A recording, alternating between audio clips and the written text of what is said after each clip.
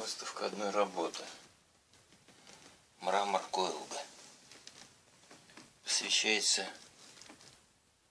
девочкам пионерского лагеря сахарного завода имени Мантулина.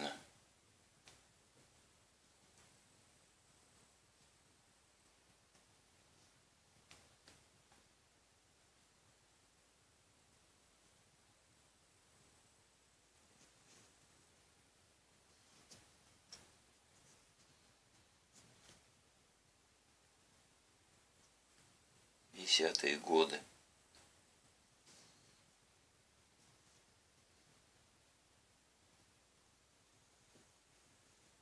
Называется «Я в домике, чик-трак».